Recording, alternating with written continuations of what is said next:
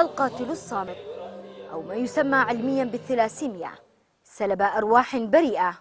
من أجل التوعية به أقيمت في العاصمة صنعاء فعالية تحمل شعار معا لحماية أطفالنا. الحملة التوعوية الثانية عشرة بمخاطر أمراض الدم الوراثي. أخطر مرض يمس المجتمع ويعاني منها المجتمع بشكل متواصل خاصة مجتمعنا اليمني. الذي يعمد إلى زواج الأقارب بدون فحوصات مسبقة وهذا واجب على كل الأسر أن تعتني بهذا الموضوع.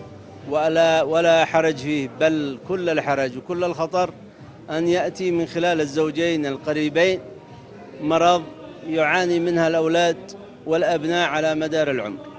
الحملة تسعى لتوعية المجتمع والفرد وتعريفهم بخطورة أمراض الدم الوراثي وكيفية الوقاية منه. وإجراء الفحوصات اللازمة قبل الإقبال على الزواج.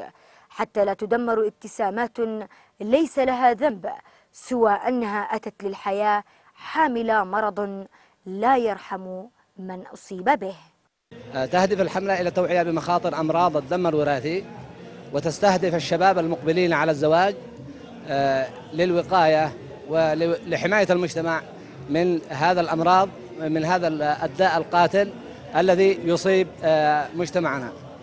وهدفنا أيضا أن تصل هذه التوعية إلى كل منزل وإلى كل بيت حتى ينعم أطفال اليمن بالبيئة الآمنة والبيئة المستقرة. الحملة التوعوية لمرض الثلاسيميا شارك فيها نخبة من الأطباء الذين قدموا النصائح لتجنب هذا الوباء القاتل.